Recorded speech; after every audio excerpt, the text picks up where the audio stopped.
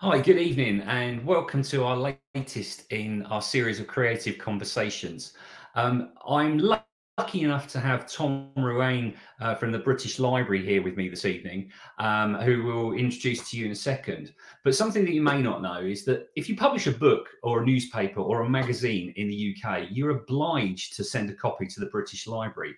But it's interesting that law does not require that of sound recordings. And we're going to talk to um, Tom a little bit about what he does at the British Library um, to um, save and treasure some of of our most uh, valued sound recordings um, here in the UK. So, good evening, Tom.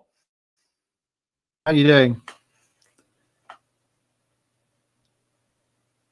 Hi, can you hear me? Hey, Tom, how are you doing? Yeah, we yeah, yeah, good, no good, problem at all. Good, good, good. Uh, yeah, um, great. So basically, Tom, good, good. Um, I was just um, saying to everyone that you know in the UK, um, if you publish a book or newspaper or magazine, you're obliged to send a copy to the British Library, but no such thing is in place um, for sound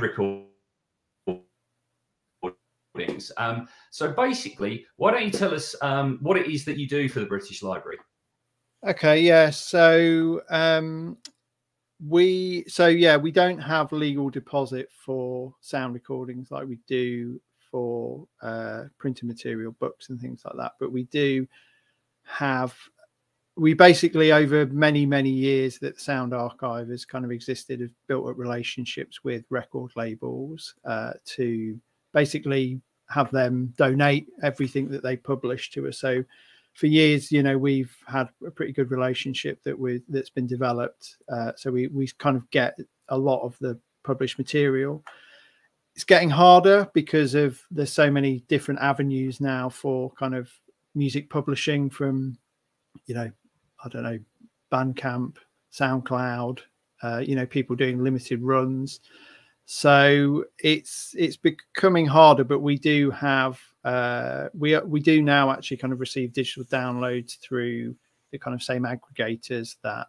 uh, you know itunes and places like that use uh, and we sort of are building up relationships with uh, other labels and artists that you know we think could donate to us and things like that. So it's it's it's it's always about kind of building up those relationships and you know and getting a kind of presence, I guess, within the industry so people know what we're doing and why we're doing it. I mean, the important thing for kind of preservation, audio preservation, is it's it's our history, it's sound heritage. Um, the work I do with the engineers here in the uh, Centre for Conservation at the British Library in uh, St Pancras in London is actually, um, you know, we hold a huge store below the library. Uh, we've got four floors of sort of uh, collection items that are stored in there. And within that, we have the sound archive, the collection of sound recordings from formats, you know, uh, wax cylinders. We've got tinfoil recording. We've got uh, early digital formats. That we've got row, you know, stacks and stacks of uh, tape. Um, all these things are kind of becoming harder and harder for us to access and replay. And again, you know, the main issues we're kind of facing is the physical degradation of the objects themselves. You know, they're kind of chemically quite complex over time. That sort of degrades and breaks down. Um, uh, but also the kind of obsolescence of the replay equipment. So, in order to hear a sound recording, you know, to hear the content, the music, or the speech, or the wildlife sound, you know, the bird sound, you know, you need the technology to actually play that back.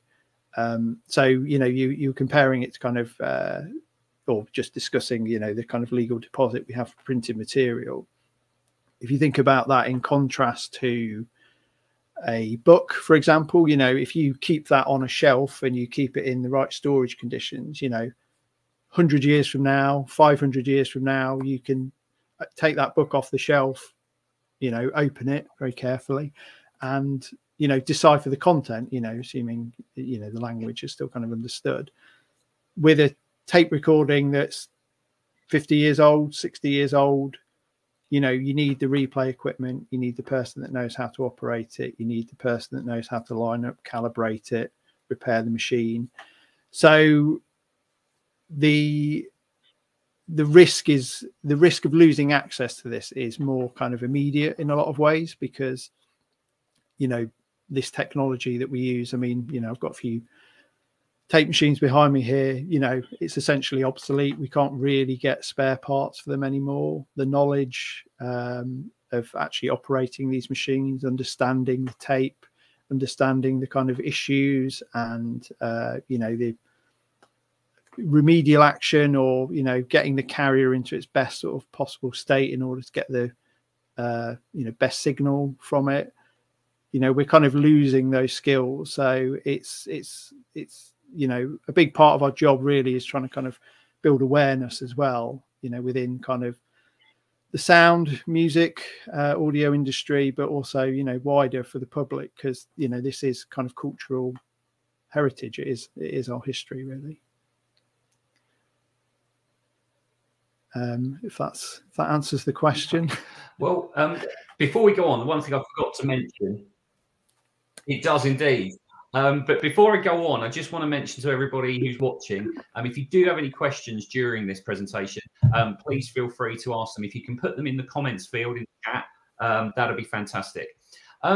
So obviously you told us a little bit about the British Library and what it is that you're doing, um, but let's just fi find out a little bit about yourself. So tell us about your history, what you studied, um, and how you actually got into this. Um, so I was, you know, interested in audio production in the in the sort of more, you know, common, you know, usual way. You know, actually sort of uh, engineering, things like that. So I studied, I actually studied uh, engineering in uh, London College of Music in West London uh, a few years ago now. And um, yeah, just, you know, sort of recording live bands, friends, things like that. Um, I think when I graduated, it was sort of early 2000s, maybe kind of 2005 and it was a period where the I guess the music industry was going through one of its many transitions. This was, you know, a period where kind of internet streaming had started, you know, to take off, and um, you know, technology was a lot easier for, you know, a lot cheaper. I guess, you know, people could get a decent computer at home, run software, buy a decent mic, do their own recording. So quite a lot of studios were closing, at that time.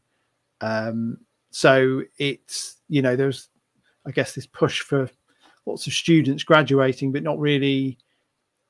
You know, the industry hadn't really transitioned into a place where it is now, or you know where it's been in the last few years. So it was a lot harder to kind of go down that traditional road of, I guess you know, uh, making the tea in a studio, um, you know, becoming a runner, things like that. So um, so I I think you know you, you had to sort of think a little bit broader in terms of what what what was available in that sense. And um i i mean i i've always been interested in sort of sound like music like kind of the history of music to an extent. I mean i always you know when i was listening to i don't know you know 90s rock bands, Nirvana, whatever, things like that. You know, you'd sort of be like who influenced them and sort of trace back and back and back until, you know, you reach, I don't know, Robert Johnson or, you know, all those blues musicians, uh, Blind Willie Johnson, things like that. Um,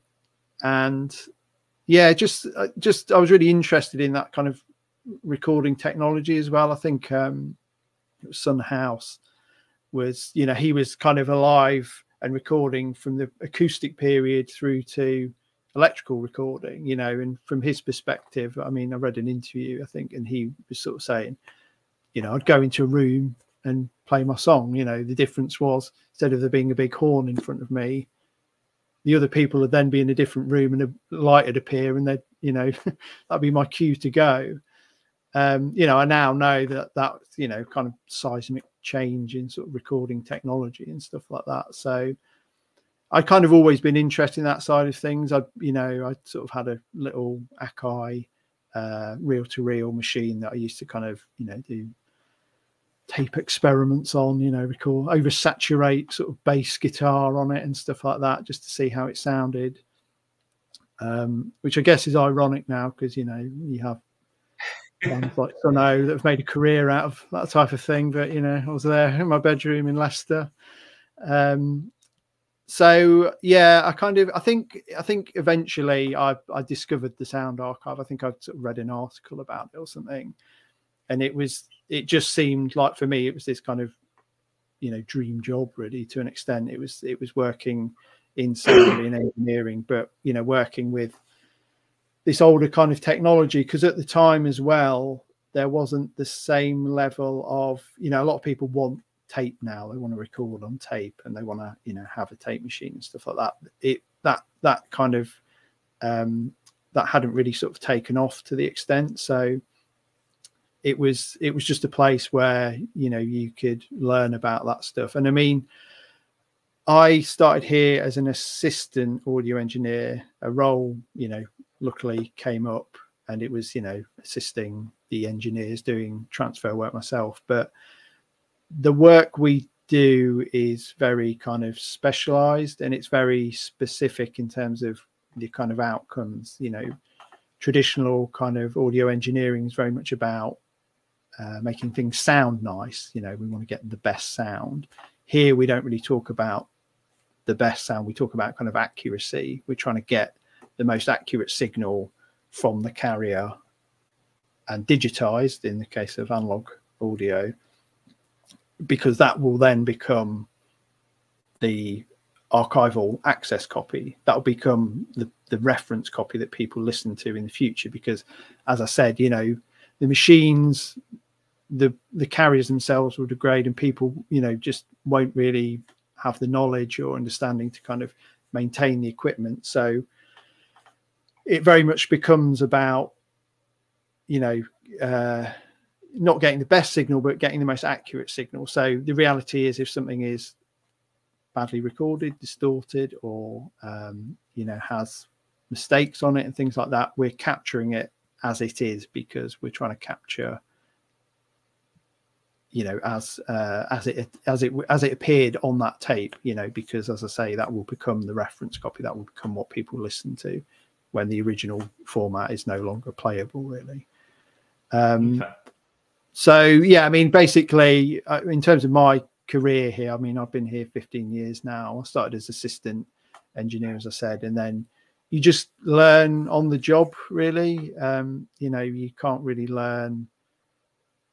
You, you know, I don't think many people are going to be able to sort of transfer wax cylinders in their bedroom or anything like that. But um, you know that's kind of one of the i guess kind of the benefits and, and one of the sort of most interesting parts of the role is you're always sort of learning new things and you know you're always encountering things that you hadn't expected you know. Like i said i've been doing this 15 years and you know there's still things that we pull out of the archive and are like okay not had this before you know what's this what's this format even?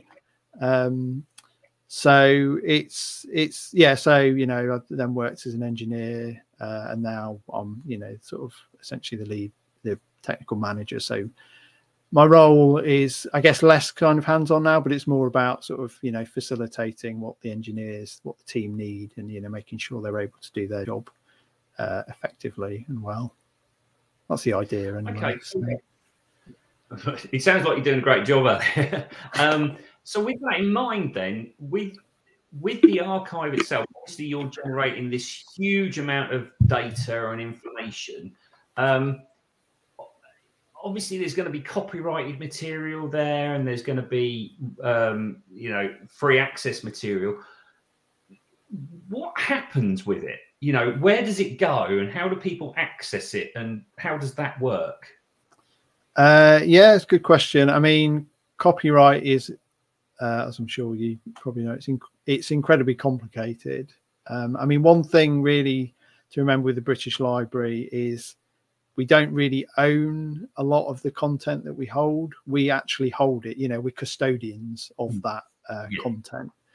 Um, and obviously, as an archive and the work we're doing, we sort of operate with a very long term sort of perspective. So, you know, at a certain point, copyright expires, you know, things go into the public domain, you know, so we're kind of preparing for that as well in in a sense because right. it's, you know, the British Library and the content that it holds, you know, you know, it will be around in the next hundred years um, and and more, you know. So, uh, but yeah, we do generate huge, huge amounts of data, and it's very complex uh, in terms of understanding all of that. Um, so, from an archival perspective, we, you know, we create high resolution uh, uh audio files, WAV files, uh, which we create a lot of metadata for. So, one thing we have to kind of unpick and spend a lot of time dealing with is almost basically reverse engineering what someone else has done, trying to understand how they transferred and created the content that it's on a tape or on you know cassette or whatever.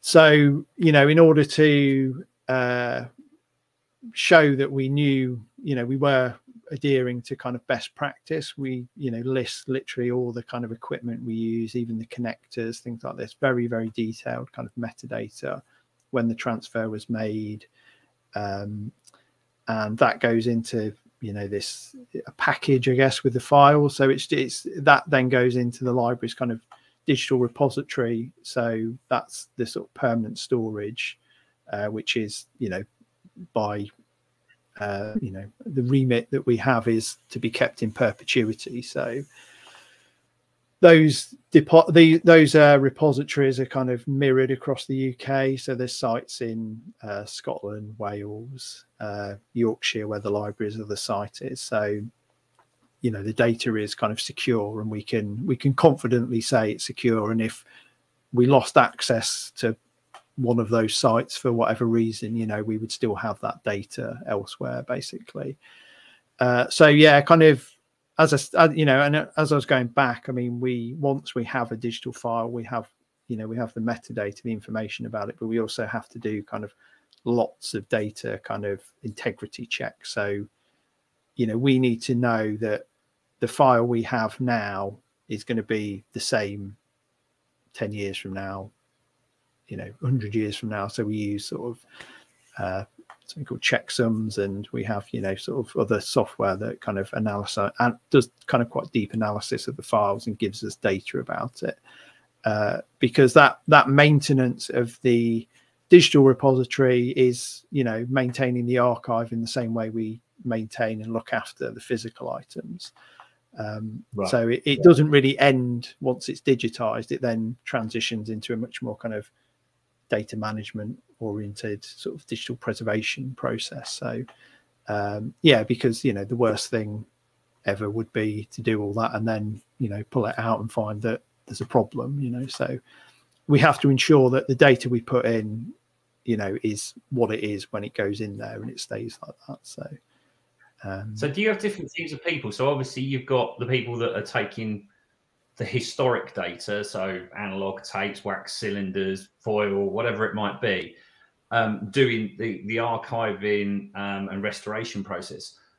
Is there a separate team of people that just focuses on making sure the archive is actually safe, secure, and in playable format? Uh, yeah, basically, yeah, yeah, basically. I mean, the sort of management of the data in the at the point that it reaches the sort of repository, the preservation, this is where it's going to stay forever.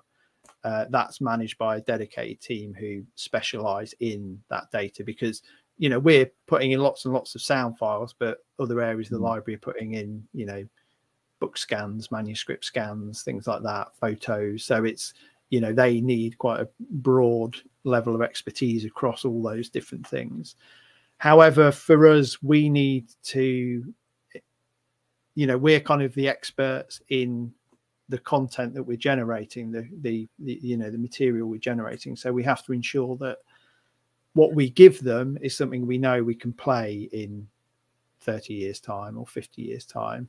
So you know we you know, if we receive digital files and they're in a sort of strange format or proprietary format or something that, you know, I don't know, just has complex metadata contained within it, you know, we need to decide, okay, are we actually going to be able to kind of unpack this data 30 years from now? You know, is it is it actually something that will be playable? Because again, you know, there's no point pulling something out that you can't you can't listen to, basically. So we're always kind of uh, assessing the uh, environment, I guess, and you know what's happening in terms of that. Audio is fairly stable, I would say. I mean, we've happily uh, settled with WAV files for quite a long time now. Um, it's really down to kind of the simplicity in which they're constructed. I mean, I won't go into bore people with the details now, but there's no you have your audio data and then you have sort of a little bit of data uh, at the start, which has kind of metadata and it tells you all the information you need to know about the audio data. So, if, for example, that metadata chunk got damaged, you could still access the audio data. And also, mm. you know, it if if a player can't read a certain part of it, it can just jump to the next part and sort of access that. So we kind of like the simplicity of it in that sense because it, it and and you know the, obviously the uh, adoption across all areas of you know audio and wider industries for for the format. So cool. So obviously you've got your own archive that you're or you've got your own material that you're trying to archive. But I I well, we got involved um, with the British Library on numerous occasions, but one of the particular projects was, you know, I, the only way I can refer to it is it's a bit like when you go on the antiques, you see the Antiques Roadshow on a Sunday night, and somebody comes along and they've got this amazing piece of material, and you go, "Where the heck? Where's that been?" And it's like been locked up in their garage for yeah the last yeah. years. You know, you had this thing called the Sound Heritage Project. Can you tell us a bit more about that? Uh, yeah, yeah. So um, it's we well we have we have a big, I mean we have a big program at the moment called Save Our Sounds, which has been going for a while, which is various different projects. And within, I mean, um, you know, we set up a we're setting up a national radio archive, and with you know the sort of acquisition of digital files and things like that. That's kind of part of it. You know, it's all these different facets and areas of uh, you know just capturing content really. But the main thing we've been working on the last five years is um, the what's called the Unlocking Our Sound Heritage uh, project, which you know we have this kind of knowledge and expertise here in li- in the library in London, you know, and obviously there's other kind of institutions internationally, you know, Library of Congress, things like that, which you know have you know brilliant people there. But as you're saying, you know, there is amazing content across the UK, and you know we we were aware that you know we needed to actually um, expand that knowledge and you know do some outreach work. So we got some funding from the heritage lottery fund uh, and we were able to uh, start working on digitizing a huge amount of the at-risk formats that we have here in the archive. But we also went and set up 10 uh, studios in uh, different parts of the uk um, that and you know recruited engineers and got sort of cataloging team uh, people working on copyright too. Basically you know they were kind of institutions themselves so they had collections but they would also then reach out to collection holders in their area and actually you know transfer and digitize uh, you know content that was significant um, you know, to, you know, nationally, internationally, you know, to their local area. Um, so we did that for three years. We set up 10 studios. And as you said, yeah, I mean, we uh, kitted them out with uh, various gear. We had sort of uh, a couple of tape machines, uh, quarter inch tape machines, cassette decks, DAT machines, uh, mini disc, uh, things like that. And then, yeah, you know, we, we had uh, Titan converters uh, that they were using, and um, yeah, trained the engineers there and got them up to you know you know the knowledge of being able to actually work with analog tape, early digital formats like that. You know, do a bit of basic maintenance on their uh, machines to keep them keep them going. So it's been an amazing project, really, and it's been really, really kind of rewarding to work with, you know, with teams because also, you know, part of the process was we would go and train them, show them how to do things, and then, you know, they would go out into their local communities and train more people, and you know, they had. Uh, you know, volunteers and interns working on the projects as well, who would, you know, pick up that knowledge. And a big part of it was just you know raising awareness and making it you know clear to people that we are kind of running out of time we are you know at a certain point this you know we're going to really struggle to be able to transfer and you know uh, access a lot of this content. And going across the uk and just finding these you know people that had like amazing collections you know and you know a lot of that stuff has now been transferred and it's it's it's kept here in the british library and you know will be made accessible where where it's possible um you know based on sort of you know current right status and and things like that. But uh yeah really really rewarding and it was great to actually do that i mean it's it's been a big project it's it was five years and we're coming to the end of it uh this year basically and um i think it's going to have there's going to be a lot of kind of ripple effects. I think you know we we trained those people, but as I said, they sort of went out and, and trained more people. So I think a lot more, you know, kind of the next generation of people that are coming up that have been involved in that are going to have much better understanding of kind of audio preservation and you know what's required in order to kind of maintain uh, and you know keep keep us you know being able to access this content. So yeah it's been it's been really good. So with that particular project is there anything that you could tell us that was particularly fascinating for you personally or anything that was sort of a you know a real find for you that you came across on on, on that particular project? Uh yeah i mean it's it's so broad really. I mean it's just so broad i mean for me personally i mean the most rewarding part was actually working with you know the people that were you know the engineers that were going to be working in the studios because uh, it's just people from you know all different kind of backgrounds and experiences and things like that and just sort of you know helping ignite that interest and you know perking their interest in you know formats that they didn't really kind of deal with you know they may have heard of what tape is but never really handled it um obviously it, it varied between people but uh yeah it was just just sort of um, you know opening up to. I mean, it's you know the the the world I live in is is is you sort of forget you're in a bit of a bubble in the sense that you know I'm working with you know we're working with analog tape every day. We're you know got PCM encoded Betamax tapes. It's all kind of totally normal. But then you talk to a younger person about this stuff, and they've you know got no idea what you're talking about. So I think just kind of you know, opening that knowledge up to people and sharing it with them was, you know, really, really kind of uh, just fascinating, really rewarding, really. So, um, yeah, I, I, I brought that, so, with, you know. That, no, that's great answer. So, with that in mind, you know, um, it kind of you mentioned particularly about Betamax, which uh, you know a lot of younger people who are watching this probably you've never heard of, um, and have you ever come across any media that you've had trouble retrieving or that you haven't been able to play back? And if so, how have you dealt with that? Have you had to go off and find things that will play it back? You know, what, what problems have you come up against? Yeah, we've quite a few really. I mean, there's there's formats that we can technically transfer, but are degraded to a point that we can't actually, through traditional methods, you know we can't transfer them. I mean, a, a good example is lacquer discs. So these are the you know uh, you know if you if you buy vinyl now, it will before it's sent to a pressing plant, it will be cut on a lathe onto a lacquer disc or you know you know sometimes called dub plates things like that you know the material it's an aluminium disc that's then coated in a cellular cellular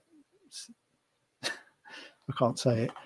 Uh, cellulose nitrate lacquer, um, you know, which which coats typically, you know, an aluminium disc. So, you know, in good condition, you know, as soon as it's cut, you you know, it it it can be played basically. You know, you can just play it as you would, you know, any sort of uh, vinyl record. Uh, what happens over time? It because you know they're meant to be sent to a pressing plant where they'll grow the sort of nickel plates and you know produce the stampers for the vinyl or uh, whatever. Um, but what happens with those is they degrade severely over time. So they have a kind of a plasticizer in them. So you know when you cut a disc, you know, I'm sure you know this. You know it's heated, it cuts the groove, and then it cools down and it hardens, and you know that's when you can kind of play it. The plasticizer essentially kind of separates from the uh, the compound and extrudes. It comes out the top, and it looks like a kind of dust sometimes, but it's it's quite like chalky. It's quite smudgy, and um, it hardens and it shrinks. So basically, the disc remains. You know, the hard disc in the center remains, and it shrinks and it cracks and it breaks. So we've got some examples where you know literally the grooves are falling off the disc and we can't you know you can't stick a stylus in and start playing that because you're going to shred it to pieces so uh, we've got things like that where they're just so severely degraded that we can't actually transfer them i mean uh, scanning technology exists i mean you know library of congress have uh, their irene system um, we actually we so I think I met we have a tinfoil recording. So tinfoil is tinfoil phonograph was before wax cylinders. It was Thomas Edison's uh, first invention for a device that could record and replay sound. You would just have literally a piece of tin. You would wrap it around a drum. There was a horn. You would hand crank it, and it would emboss a groove. It wouldn't cut. It was soft material, so press it in. Um, so we have that, and there's no means to play something like that. You know, you can't wrap it back onto a drum or anything like that. so fragile, and I think the one we received was actually in in several pieces. Um, so yeah, there's there's kind of disc scanning. There's there's scanning technology in existence, and in 2008 we were involved with a research project with University of Southampton where they were developing uh, some technology, and they actually scanned this tinfoil. Um, so, uh, I mean, the content on it is it sounds like a human voice. It's not really you can't really hear what they're saying. It's you know it's very kind of low fidelity recording in that sense, but it um, you know we had no means of accessing that content and from a historical and technological perspective it's really really interesting because you know as technology develops and grows, you know, we are actually able to access more and more of this content. Um, but that's that's kind of you know, you know, linked to kind of the the, the you know degradation, the conditions of the formats to an extent. But I mean, we hold so in terms of the items we hold, they're across. Uh, we we actually did a sort of survey of everything that we hold, and we've got forty different audio formats in the archive.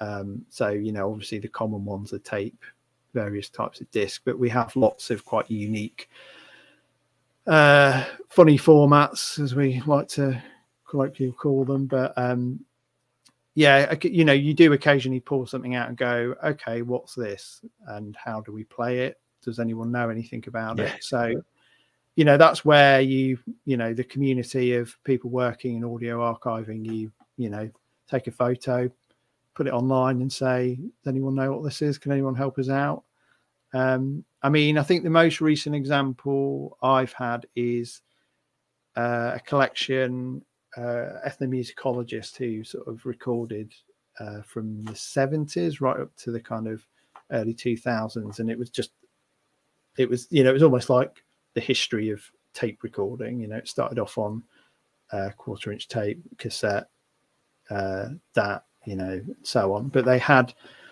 uh, these tiny, tiny little digital tapes called NT tapes, which was developed by Sony in the early 90s. It was uh, the nickname was a Scoopman. I think it was basically supposed to be the digital replacement for uh, you know, the sort of very small microcassette dictation devices that uh, uh, you know interviewers and you know the press would use. Um, and we were like, okay, we don't have a machine. We're going to have to get a machine for this. So we had to just find a machine, you know, on eBay. Probably I can't remember exactly where we purchased it from, and you know, get it. And that was it. That was the only means of playing it because it was such an obscure format. You know, no new technology has been developed to help you transfer that or get a better signal off it or anything like that. So, you know, we literally had to just, you know, scour the internet, try and find one of these recorders that we could uh, play the tapes back in. So yeah, it, it does happen. It's um, it's I mean that's one thing we sort of you know the reason we did this survey of the collections we held because it was like, okay, what have we got? Do we have the technology in order to play it back? Um, and if not, we need to acquire it really. So but yeah, I mean, physical degradation is the biggest thing, really. I mean, you know, um, you know, we have so much tape, and the condition that a lot of tape is in these days is makes it very difficult to, you know, uh, actually transfer it really, um, just because it's you know it's degraded so severely. So. so, do you do you ever get tapes in where, obviously, the '90s is a perfect example of this, where you know, we were recording audio onto VHS, and um, you know, you've got ADATs and that kind of stuff. Do you ever get tapes in that you think, oh, this is an audio recording, and turns out to be video? Um, I don't think we've really. I mean, I think the thing is, yeah, sort of encoded Betamax or VHS. I mean, if you put it in a in an actual video machine connected to a monitor, you'll see it's kind of like organized static it's all you know you yeah. see the sort of the noise basically in an organized sort of you know binary fashion basically because it's encoded you know the, it's encoded yeah. into the video signal um i mean i guess the most i mean one of the things we deal with really and to be honest with you is still kind of a bit of a struggle is um mixed mode kind of cds so you know that can be particularly kind of enhanced cds where as you're saying kind of early 90s you know you might have i don't know a david bowie cd with a video on it or you know some long abandoned website things like that. And it's that's that's the kind of thing where you're like oh, okay right this isn't just an audio yeah. signal. There's something else here. And you know how do we deal with that? How do we capture that? Um so yeah, there's there's lots of lots of uh, you know you, you think something's going to be straightforward, but there's always you know a few few kinks along the way in that sense. So um, yeah, it always keeps you on your toes. Yeah. so in that context, then obviously you've you've got a lot of diverse skills, and you know you've learned a lot over the 15 years that you've been with the British Library. So what what skills do you think make successful engineer in your, your role? Uh, I think audio preservation is. I think that you. I think you have to have a real kind of uh, passion and interest for kind of sound as a sort of cultural, historical, you know, having that kind of value, something that you know is kind of significant and is going to be important. Uh, you know, long after I'm here or uh, any of us are. Um, you know, interest in the older technology, you know, an understanding of, uh, you know, you you have you develop a lot of kind of very esoteric skills and sort of esoteric knowledge around, uh, you know, things like tape degradation. You know, why is this tape not playable? Okay, it could be these reasons. Okay, what kind of remedial action can we take? Oh, you know, this disc is this type of disc. You know, you can identify it. Um, so you you kind of have to have a really you know get a lot of time with the different formats to really kind of understand uh you know how to get the best signal out of them or most accurate as i like to say but um you know without kind of damaging it or you know because uh, this is the thing i mean again with tape you know classic example is someone can will put a tape on a tape machine and be like oh it's you know it's really muffled. Oh yeah, you know, it's just an old tape. But actually, you know the head blocks on the tape machines here you know you have an azimuth adjustment you can move the position of the head to align it correctly with the uh, tape as it passes over and that will suddenly open up all the high frequencies and you suddenly get a much higher fidelity recording. So you know without kind of that knowledge and understanding you would just be like oh. And also you know we have tapes uh, uh, what we call b wound which so traditionally you have you know reel to reel and the tape faces inwards and goes past the head. Uh, you know a technique that particularly used in broadcast a lot people would flip the tape over when they wound it. So it would be facing outwards which is to help reduce kind of print through and things like that. So you can put a tape on and if you don't know what you're listening for you'll just think oh it's a muffled recording but actually you're you're playing the back of the tape you know you're not actually yeah.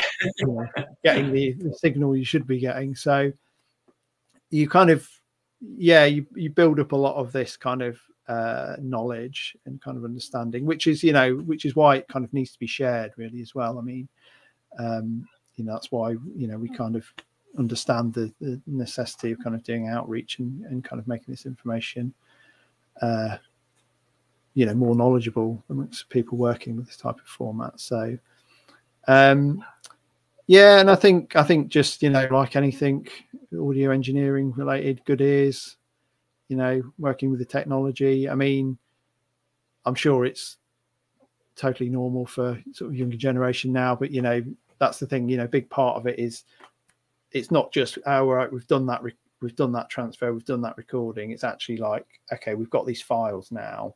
How do we describe them?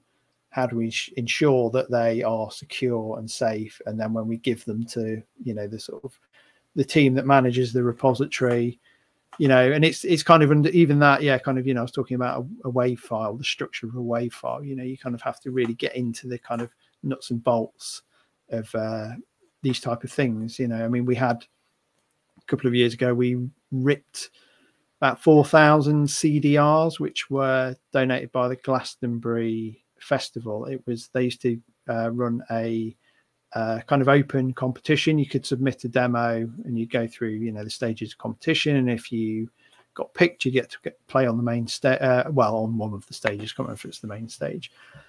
And um, you know, we had to do load, lots and lots of research into the sort of error detection and correction systems that are used by CDs because we needed to ensure that the software and the hardware we had, you know, weren't kind of, uh, you know, making any kind of subjective corrections, you know, trying to make it sound nice for us because, you know, we wanted to extract the data as it was on the disk. Um, so, yeah, I think you know if you if you're interested in in the technology as well as the actual sound, the music, or the you know the you know whatever whatever the recording is um you know that's that's a good place to start really. I think if anyone's kind of interested in that, that type of thing and, and you so, know moving into this industry. So you you touched obviously you just touched on it there and you touched on it in your your previous answer.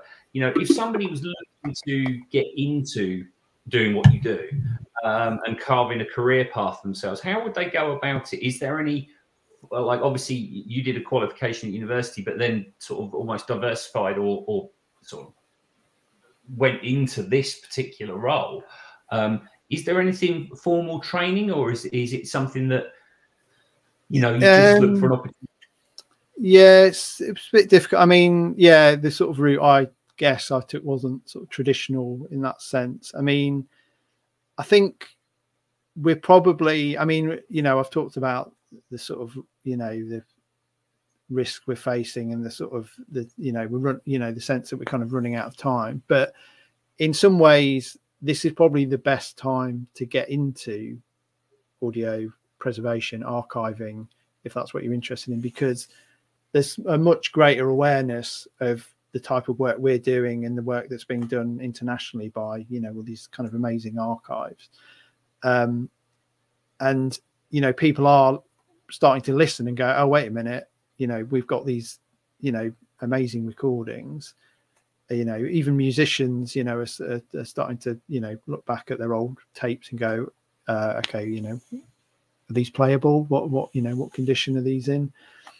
So I, I, guess for someone here that's kind of interested, yeah, just learn about the technology, learn about the various things. I mean, there's kind of, you know, specific to kind of audio preservation. You know, we have standards bodies like the International Association of Sound and Audio Visual Archives, uh, IASA. You know, they set the standards for what we what we do and just you know if you you know look for local musicians in your area look for people that are you know communities that are making recordings even if they're just recording their own you know local bands or venues things like that because they've probably got stuff going back onto you know tape or cassette or dat or something like that. And yeah that would be a really good project you know to get into and uh, and actually sort of you know help them kind of you know transfer this stuff because a lot of people you know they don't know where to start with it really because it looks you know it's it looks scary. It's like okay i've got all these different things and you know they're old audio formats what do i do with them? So i think yeah just look in your and as i said you know we've had this big uh unlocking our sound heritage project where you know these um uh, you know, there, there are sort of uh, local archives and communities that are actually, you know, been trained in this type of thing. Um, so I would just look at what's going on in your area and, you know, and just see what collections there are and, you know, see how you can get involved in that kind of thing.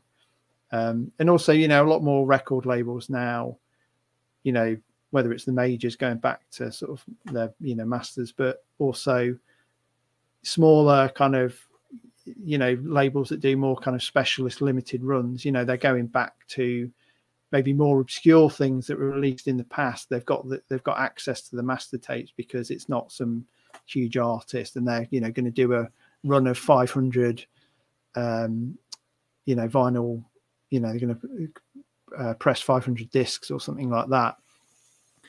Um so yeah, and just just get involved in the community. I mean, audio and music and things like that. A lot of it's, you know, ha- building up personal relationships goes a long way. I think you know, getting you, you know, getting talking to people and getting, you know, people want to share what they know. You know, I mean, you know, people people love talking about themselves, don't they? So you know, I think. Uh, I think just you know find engineers that are doing this kind of thing and chat to them. You know, people love to, love to share the information normally. Cool. So yeah, a bit of a bit of a you know all over the place answer, but yeah, I think I think we're in a in a, well, a better position than we've been for a long time. Really. Yeah, I think I think it's an interesting answer because you know most of us start out doing one thing and we end up doing something completely different, but it's always in audio, you know, in some form or another. But I think that's the beauty of our industry. Um, so you've worked on a diverse array of projects. Um, what is the most interesting one that you can remember? Um, I think, yeah, I mean, the, the big project we've done recently, I mean, I think as an engineer, just sort of going back a little bit, you know, some of the things I've worked on, um, you know, the library obviously uh, it's a public institution and, you know, we put on exhibitions and stuff like that. So I did quite a lot of uh, uh, that stuff. I used to do that. So we had a, a, a big punk exhibition uh, a few years ago now. So punk 1976 to 78, I think, and it was just it was you know just covering that very short but you know incredible period of you know UK music, and um, just the people I met. I met some really really incredible people and just worked on some amazing stuff. I mean, we had one of the uh, founder members of uh, Subway Sect bring in some early recordings of the band just like rehearsing. You know, it wasn't really for anything. Um, that he was just like, yeah, I've got the, I found these tapes. You know, um, we had you know amazing people come in. I mean, John Lydon came in and did a talk. Uh, I recorded an interview with Danny Fields, who was the manager for.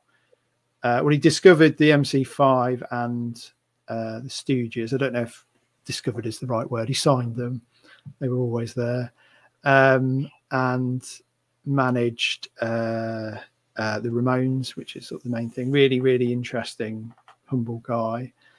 Um, yeah, so that that was that was quite cool, and it was a real, you know, I've obviously, you know, we've been listening to that kind of music for a long time, but it was really good to have people that were there coming in talking about it and then you know bringing in all this extra material you know things that hadn't been heard. And uh, you know that's you know it's now with the library and it, it was you know available at the exhibition. So um, that was that was a pretty good one. I mean it's it's you know and again it raises awareness of what we're doing because you know how could you describe the you know that that moment in history that was punk without having the music without having the audio.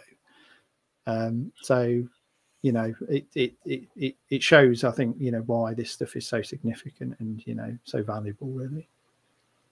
Okay.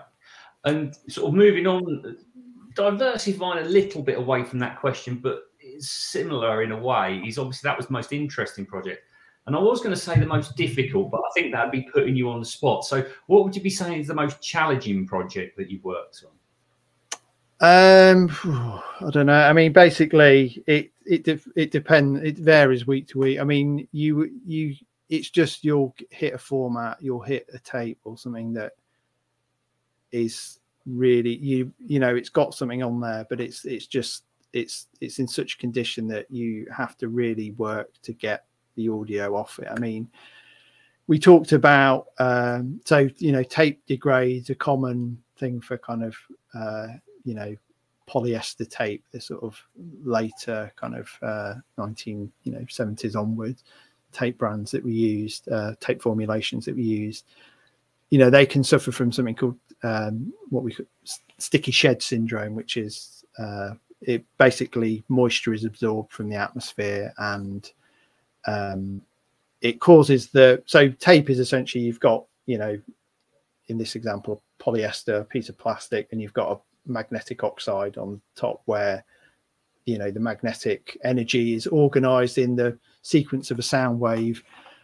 Um, but that magnetic oxide breaks down. It has a kind of glue or binder we call it that holds it all together and that sort of starts to you know the moisture causes it to break apart and the tape will stick or adhere to you know the adjacent layer and when you play the tape if you don't know that's happened it will squeal. So that's a common thing, and you get all the oxide builds up on the head, and obviously that's essentially the content being rubbed off the off the tape. So you can you can bake tapes that are suffering from sticky shed syndrome. But what we've now understanding is the it's such a complex issue that actually a lot of the time it's not that it's other things. It's you know the chemicals are breaking down in a different way, uh, and it just you know you can't bake the tape so what do you do? Okay, well you need to, uh, I guess, reduce the friction as the tape passes over the head. Well, how do you do that? Okay, well we could lubricate it. So, you know, we've had sort of DIY devices that help us kind of keep the tape lubricated as it passes over the tape head, which requires basically an engineer sitting you know with their nose against the tape ensuring that it's it's you know getting that that kind of lubrication. Um you know we have custom built i don't know if custom built is the right word we have a again a sort of you know uh designed and built british library special which is uh, what we call the grandfather clock which will basically unspool a tape at a very slow speed. So you've got a um, a take up spool at the top and the bottom. It's just a sort of six foot uh, board with a motor that runs and then it heats the tape as it passes. And um, it just it just un, un, slowly unwinds the tape one revolution a minute hence the, the name the grandfather clock. So that's the kind of thing where you like you go in for your day and you think oh just you know do that tape and then you like working on it for three days or something, trying to get the signal off it. Um, I mean, I've had, I, I, I, did have a recording a few years ago where it was on tape and it was a theatre group. I won't name them here. Not that it's anything to do with them, it's just the condition of the tape. But it had obviously been played back at some point before reaching the archive, even in this degraded condition. So a lot of the oxide it was so degraded that a lot so much of the oxide had actually stuck to the back of the tape that actually I took the traditional transfer at the you know what would have been the oxide layer front side, and then did another transfer and just played the back of the tape because there was so much oxide adhered to the back of the tape that actually you know at some sections I was able to get a better signal. Um, right. But in that case, you know, that's all you can do really because it's already degraded to the point, and at some, you know, somewhere previous to reaching us, it's been played back by someone that didn't know what they were doing, and it's it's damaged it even further. So, you know, we were able to extract the signal, but it's it's incredibly difficult in that sense. Um, so yeah, there's not, you know, there's a, there's not one specific item. It's it, there's always something around the corner that you're going to have to uh, think creatively about how to how to get the, um, the signal off it really. And you you kind of touched on this earlier, and uh, I'm interested to you know because we've got we've only got about five minutes left, um, and I'm interested to ask you about this. You know, you mentioned about capturing the media in its purest form, but are there any instances where I'm going to use the word remaster or I don't know, tweak, whatever you want to call it, um, the, the, media to improve the audio? Or do you look at this on a case by case basis? Or is it literally however it comes out, that's how we're capturing it? So, for stuff, so basically, we'll always have an archival master, which is, you know, we we we do all the preparation work. We'll put the carrier, the format in, you know, like very simple example, you know, if we've got a disk, we'll clean it before we transfer it. You know, we won't just transfer it with the muck on it or the dust or whatever.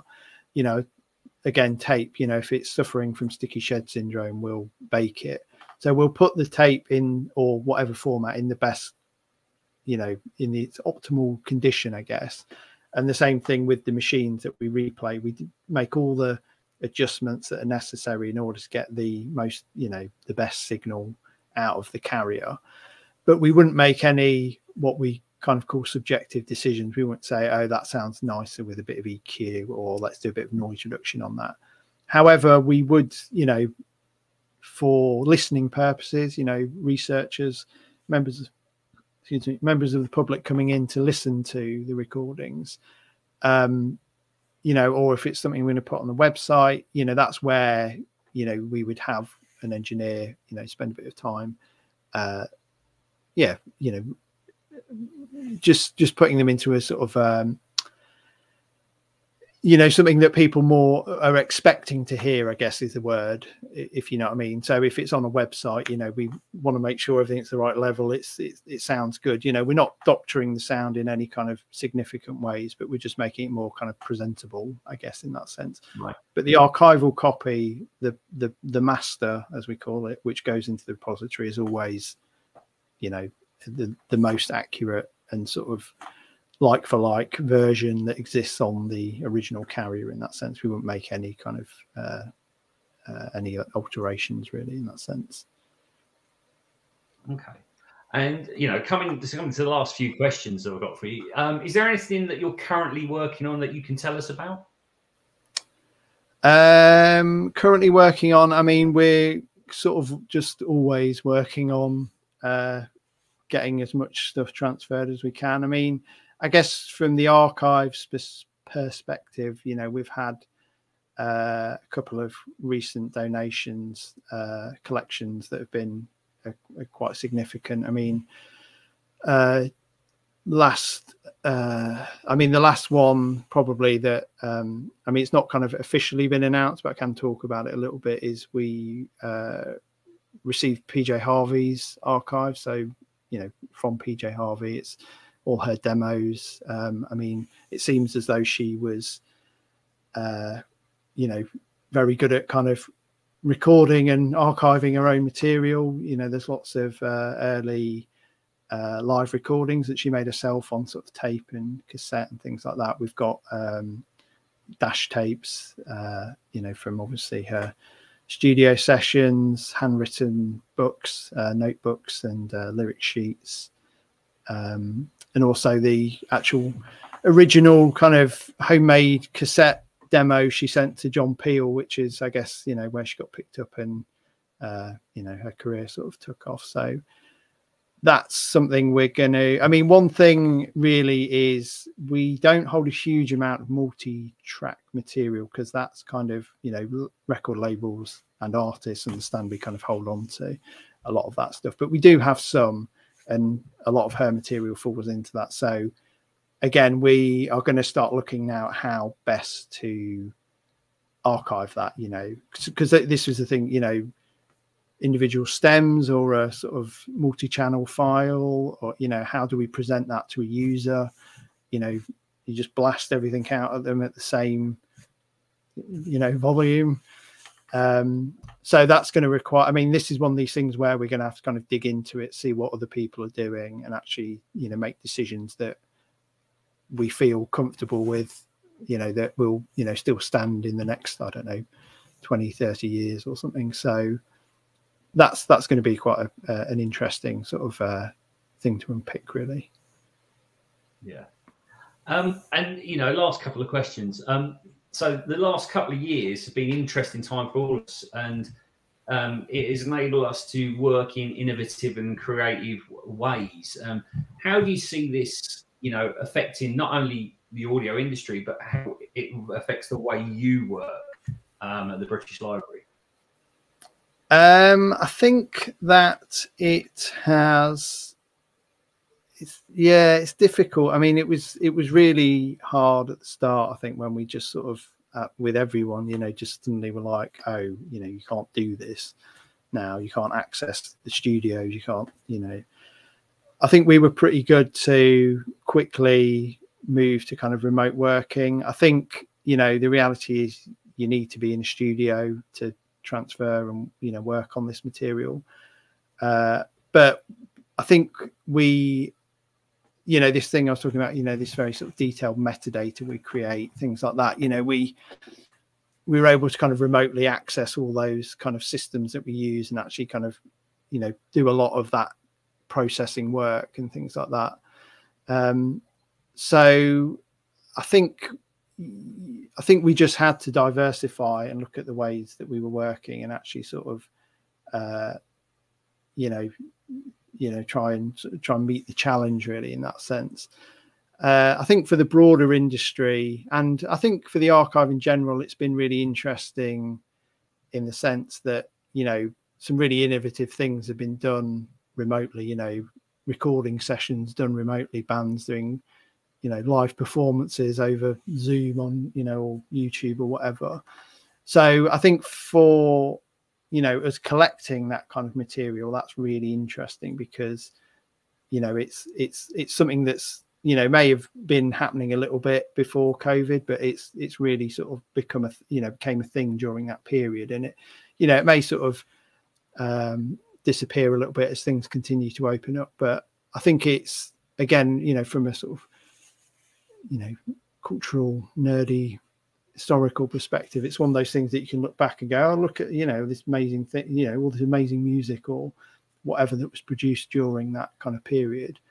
I mean again within the library you know we have our uh, oral history team. They they record um, interviews with you know anyone from kind of any walk of life really you know uh, you know to capture history you know from sort of you know, as I said, sort of, you know, people from across the spectrum of society. I mean, they, you know, were like, okay, we still need to capture what's going on there. How do we do that? Okay, well, you know, we'll have to do it remotely, you know. So they sort of had to, you know, work and sort of uh, do these interviews remotely and stuff like that. So again, that's kind of, you know, two year period, I guess, where we've got this chunk of material that's produced in a very specific way.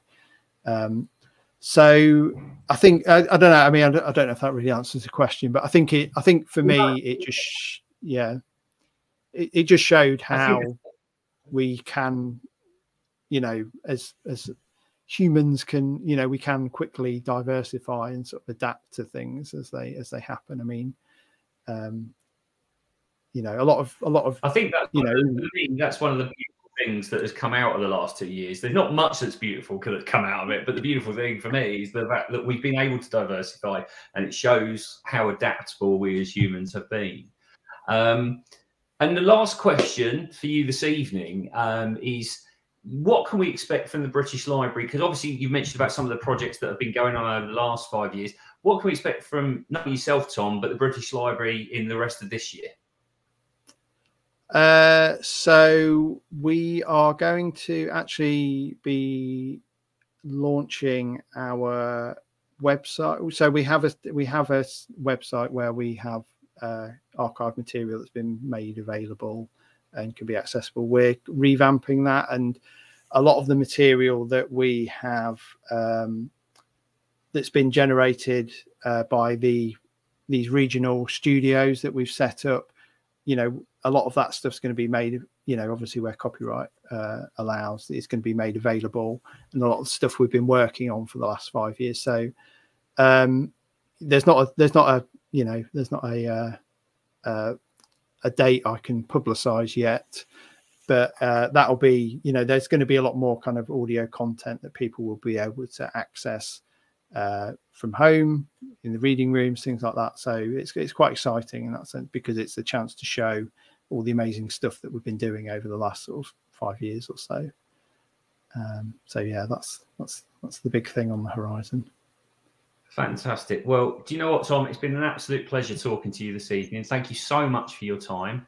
Um, I'll get the date off you when you do have it available. I'll make sure we get it posted. we'll let you know. Yeah, yeah, we'll let you know.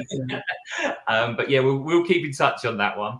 But once again, thank you so much for your time. And for everybody who's watching, um, thank you for your time this evening. Hope you enjoyed it. And we'll see you on the next creative conversation very soon. Thanks. Good night. Great. Thank you. Cheers. Bye.